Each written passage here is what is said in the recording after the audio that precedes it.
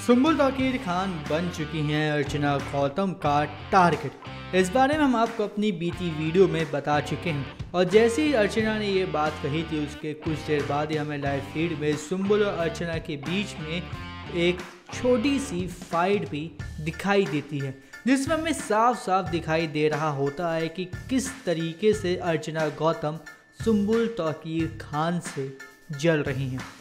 जी अर्चना गौतम को जलन हो रही है सुम्बुल तोकीर खान से। तो क्या ये पूरा वाक्य? चलिए हम आपको बताते हैं। दरअसल, अर्चना गौतम किचन एरिया में आती हैं क्योंकि वो खाना खाने के लिए वेट कर रही होती हैं।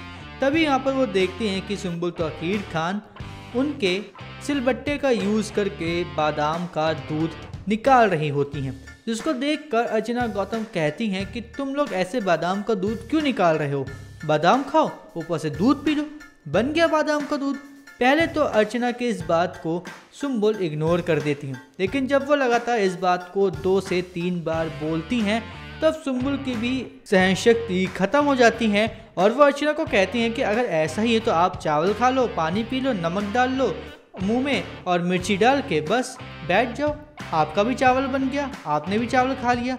इस बात को सुनकर अर्चना का मुँह पूरी तरीके से बंद हो जाता है और वो ये साफ़ साफ़ कहते हैं कि हमारे पास तो बादाम खाने तक को नहीं है और ये भाई साहब देखो बादाम का दूध पी रहे हैं।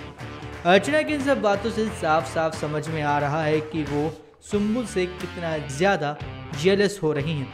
अर्चना गौतम का शिकार बन चुकी हैं, टारगेट बन चुकी हैं सुम्बुल तोकीर खान।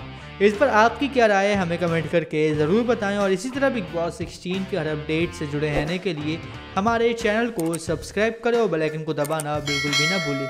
क्योंकि अगर आप बेलाइकन दबाना भूलें तो हमारे हर लेटेस्ट अपडेट आपसे छूटे।